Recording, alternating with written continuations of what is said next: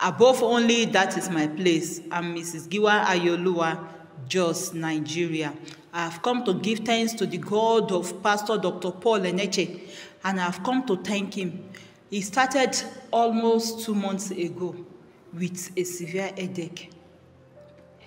The headache was so severe that sometimes I will have to close my eye because I cannot see very well. Then later I noticed my breath I can't breathe very well. I can't breathe very well, especially when you come to night. The time for me to sleep, I'll have it difficult to breathe. I'll be afraid. I don't know what is happening to me. Then later on, I lost appetite. I don't want to eat because I'm afraid of food. Anything I eat will not digest. Because once I take that food inside me, I will be begging.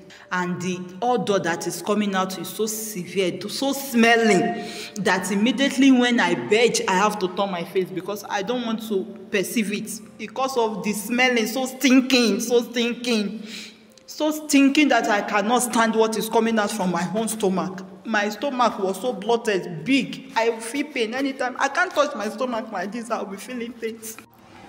And I notice every morning when I wake up, my tongue and my teeth will gum together with my mouth. Everything will glue together. I always find difficult in opening my mouth early in the morning. I'll be crying, be calling God of this commission to help me out.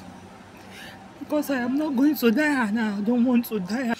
Then on the 17th of this month, I was so distressed, in pains, rolling on the ground, crying calling upon the God of this commission to help me because I can't continue like this. Sometimes I will like, God, is it that I want to die? Then later I will start praying that I can't die. My children are still small and I can't die like a chicken. The spirit will be telling me, just die. I say, no, I refuse to die. I am undiable. I will not die. I will live to see my children that very day on 17th, my children surround me, they were crying, praying for me. The other one carry anointing was anointing me because as if something want to remove my, my, my mind, my chest, pains all over my body, my stomach, big. Then on that process, I don't know how come I slept off.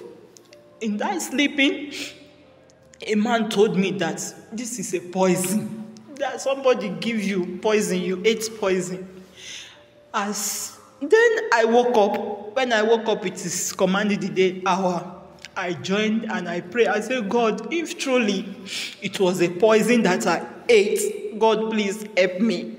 Let your servants confirm it.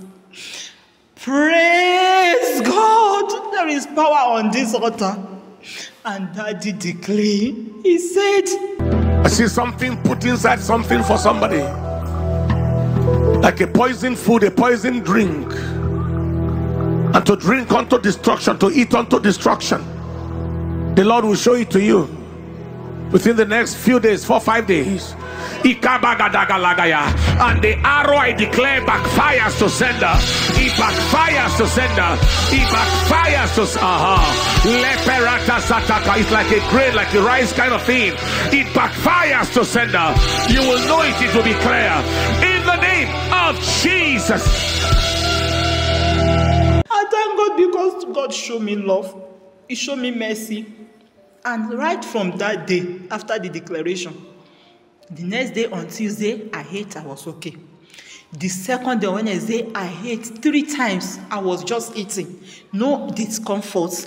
I no begging. My body is okay. I feel light. I am sweating because I can't sweat. Sweating is not coming. My sweating cease.